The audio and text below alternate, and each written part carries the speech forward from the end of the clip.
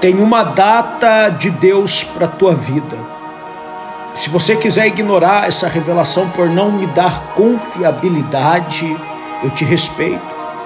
Talvez no teu celular só tenha passado picaretagem até o dia de hoje. Talvez homens e mulheres que se dizem profetas e profetizas só usaram do teu ouvido para balela e nada mais. E agora você caiu logo na frente de um homem de Deus que o Senhor tem usado para milhões de vidas há mais de três anos na internet. Testemunhos de enfermos sendo curados, de esterilidade sendo curadas, mulheres que não podiam ter filhos engravidando, portas que estavam fechadas que se abriram, casamentos que estavam acabados que Deus restaurou. Não sou eu que falo, está no meu perfil os testemunhos. E o Senhor manda eu te dizer que tem uma data para a tua vida. Você acreditando ou não, ignorando ou não, não me fará menos profeta. Eu sei do tamanho do meu Deus. Mas te fará perder uma grande bênção, um grande milagre. Está nas tuas mãos o poder da decisão. Se você ficar aqui, já fica com convicção de que Deus vai falar. Já registra o teu nome e teu pedido de oração nos comentários. Clica aqui no coraçãozinho, na estrelinha para me abençoar e no maisinho para me seguir.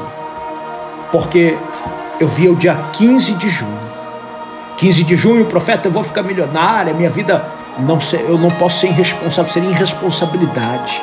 Entregar a fórmula mágica não existe. O que eu vim dizer é que no dia 15 de junho é um novo tempo na tua vida. Eu vi ali o basta de Deus para a tua história. O basta na humilhação. O basta na vergonha. O basta na opressão. O basta nas dificuldades que mande orai, assure, calavarde. Senhor, manda eu te dizer que a partir do dia 15 tem um propósito de restauração. A partir do dia 15 tem um propósito de libertação e espiritualidade. A partir do dia 15 há um mover espiritual de Deus para a tua vida.